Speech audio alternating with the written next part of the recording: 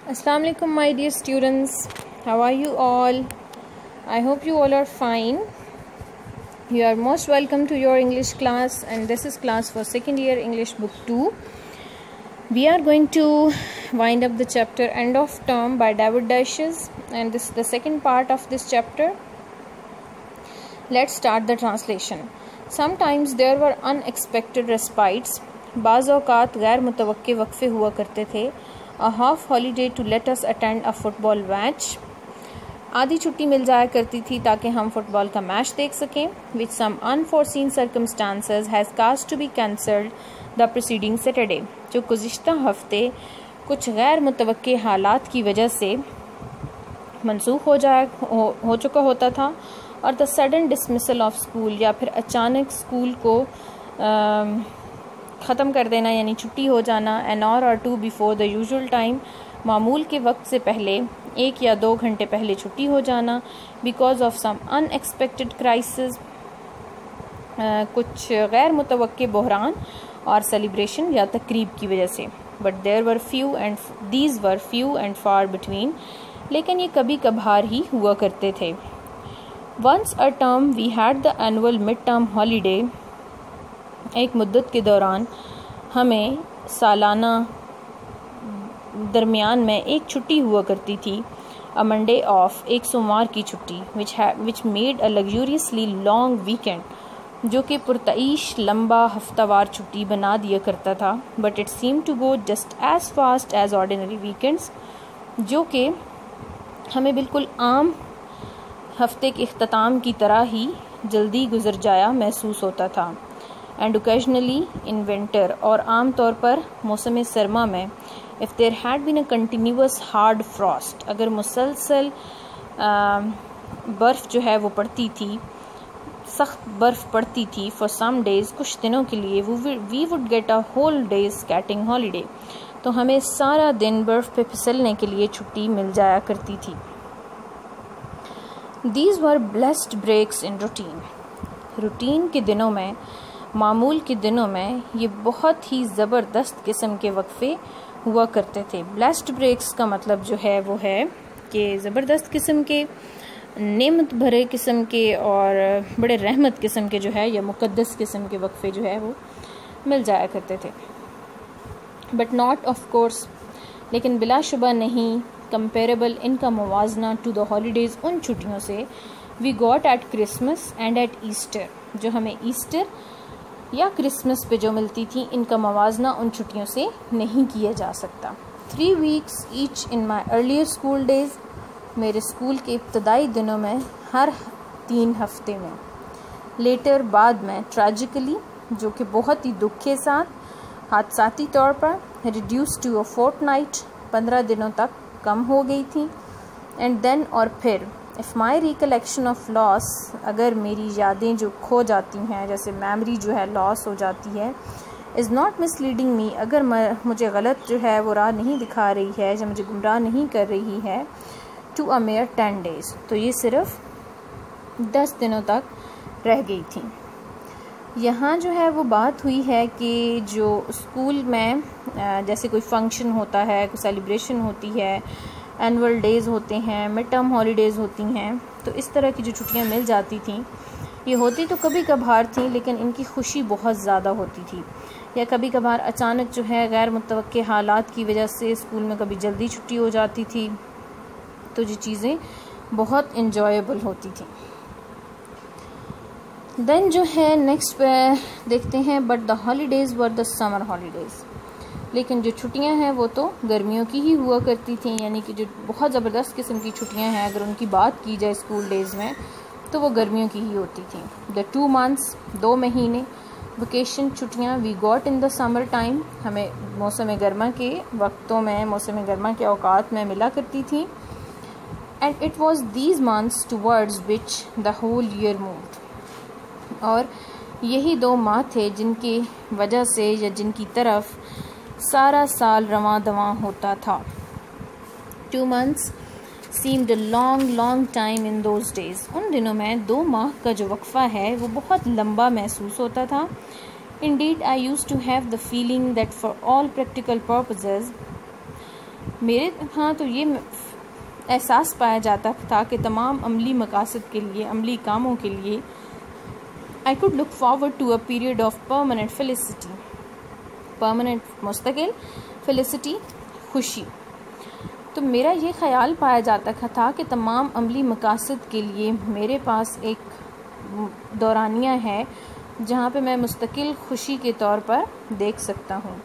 I would walk home across the meadows in the July sunshine मैं सब्जारों के पार घर ऐसे जाया करता था इन द जुलाई सनशाइन जुलाई की दोपहरों में wearing my summer school clothes अपने गर्मियों के स्कूल के कपड़े पहने हुए ग्रे क्रिकेट शर्ट क्रिकेट की तरह की ग्रे शर्ट ग्रे शॉर्ट्स सुरमई निकर एंड रेड वेटसन ब्लेजर और सुर्ख वेटसन coat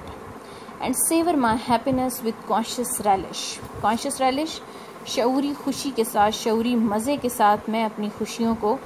खुशियों का मज़ा लेता था. I could hardly believe that the three strenuous School terms had indeed rolled away, and the longed for, dreamt of almost, it seemed at times, mythical summer holidays were at hand. मुझे ये तो मुश्किल से ही यकीन आता था कि जो थ्री स्ट्रन व स्ट्रंस का मतलब होता है हार्ड टफ बहुत सख्त स्कूल के जो टर्म हैं वो ख़त्म हो चुके हैं और जिनकी ख्वाहिश की थी जिनकी अक्सर ख्वाब देखे थे ऐसा लगता था कि वो गर्मियों की छुट्टियाँ आ गई हैं, सामने मौजूद हैं अनस्पॉइल्ड एज जेट जो अभी तक ख़राब नहीं हुई हैं। लाइंग इंटैक्ट जो बिल्कुल सही सलामत हैं एंड प्रोमिसिंग जस्ट अहेड जो वादा करती हुई मुकम्मल सही सालम आगे मौजूद हैं। It all seemed too good to be true और ये इतना अच्छा होता था कि इस पर यकीन ही नहीं आता था। ये तो बात हुई छुट्टियों की। नेक्स्ट जो है राइटर बात कर रहा है कि नया एक टॉपिक जो है अपनी लाइफ का बयान कर रहा है। Wishes didn't come true in this life इस ज़िंदगी में ख्वाहिशें कभी भी पूरी नहीं होती थी। आई न्यू दैट ये मुझे पता था। ऑल माई अर्ली चाइल्डहुड मेरे तमाम इब्तदाई बचपन में I long desperately for a tricycle मैं मायूस कन हद तक डेस्परेटली का मतलब होता है बहुत ज़्यादा, यानी ऐसी ख्वाहिश जो पूरी ना हो।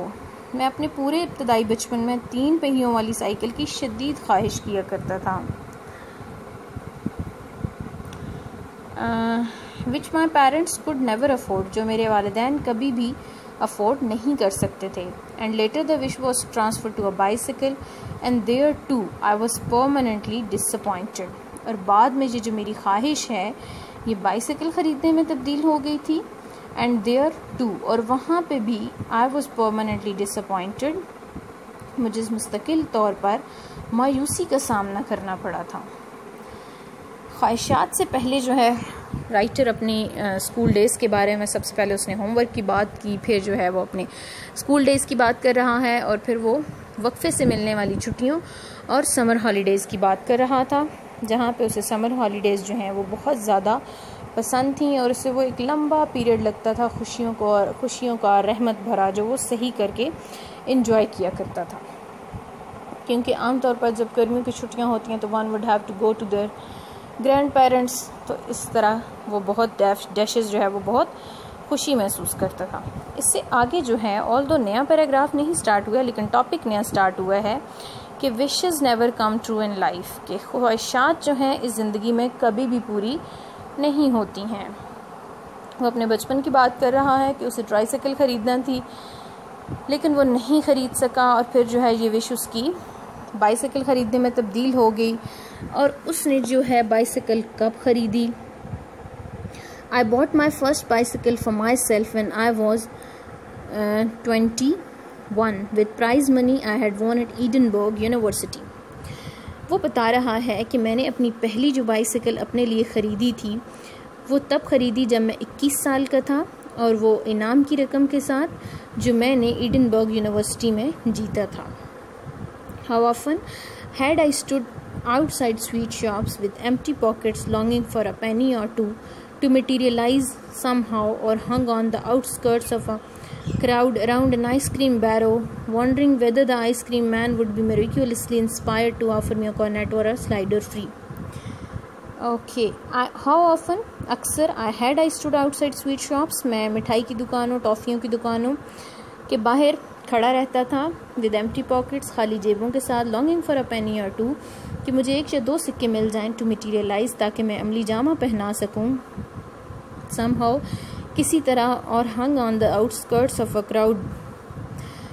हजूम के बाहर around an ice cream barrow ice cream के स्टॉल के बाहर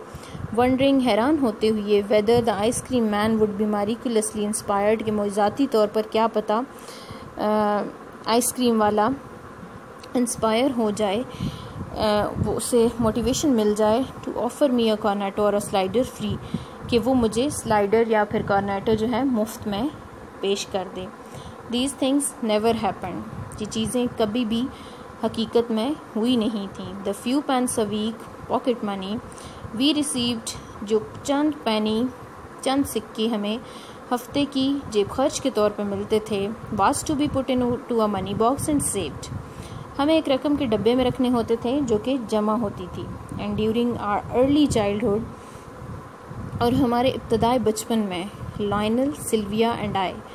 Lionel Sylvia को और मुझे never had anything to spend for ourselves हमें अपने ऊपर खर्च करने के लिए या अपने लिए खर्च करने के लिए कुछ भी नहीं मिलता था। येट फिर भी, summer and the summer holidays गर्मियाँ और गर्मियों की छुट्टियाँ डिड कम आया करती थीं। The school year come to an end school का साल जो है वो अख्ताम पे आया करता था and one did find oneself at last और कोई इंसान, कोई शख्स खुद को आखिरकार पाता था।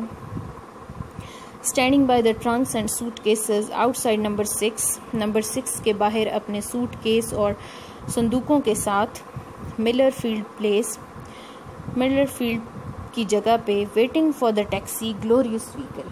taxi जो कि उस वक्त शानदार गाड़ी समझी जाती थी, उसका इंतज़ार करते हुए that was to convey the family जिसने ख़ानदान को पहुंचाना होता था एंड इट्स लगेज और इसके सामान को to the railway station railway station पर. ये एक अच्छी बात है वक्त की इस पर अच्छा इसने अच्छा कमेंट किया है कि ऑल दो विशेज़ तो ख्वाहिशात जो हैं, वो कभी भी पूरी नहीं हुई। पहले उसने ट्राईसाइकिल की विश की, फिर बाईसाइकिल की की और उसको बाईसाइकिल तब मिली जब वो 21 साल का था और वो भी अपनी प्राइज़ मनी से उसने ख़रीदी थी। देन जो है वो वेट किया करता था कि कोई स्वीट शॉप से बाहर आइसक्रीम शॉप से बाहर कि उसे कुछ मिल जाए या कुछ हो सकता है आइसक्रीम वाला जो है वो फ्री में कॉर्नेटो या फिर स्लाइडर उसे फ्री दे दे। लेकिन ऐसा कभी भी नहीं हुआ था। इन तमाम डिसअपॉइंटमेंट्स के बावजूद जो है राइटर बहुत हैप्पीली कहता है कि स्कूल के साल जो है, अख्ताम होता था।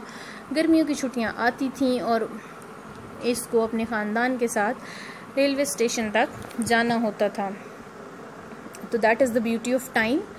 कि time never stops time change होता रहता है, हर एक के लिए, चाहे वो मायूसी वाला वक्त हो, खुशी वाला वक्त हो it never stays long so this was the beautiful chapter इसमें आप खुद को रिलेट कर सकते हैं कि आपका स्कूल का टाइम कैसा गुजरा। आपको स्कूल अगर अच्छा लगता था तो किस वजह से? अगर बुरा लगता था वट वर द रीज़न्स और अगर स्कूल में आपने बहुत अच्छा टाइम गुजारा तो किस वजह से? आपकी विशेज़ जो हैं लाइफ में, वो किस तरह पूरी हुई? या क्या आपकी सारी विशेज़ पूरी हो जाया करती थी? या कोई ऐसी विशेज़ हैं जो रह गई हैं अभी भी और वो प्रेसिंग हैं? तो आपके लिए स्कूल लाइफ कैसी थी? Relate yourself with the writer अपने आप को राइटर के साथ रिलेट करें रीड करें एंड अंडरस्टैंड करें. Okay okay.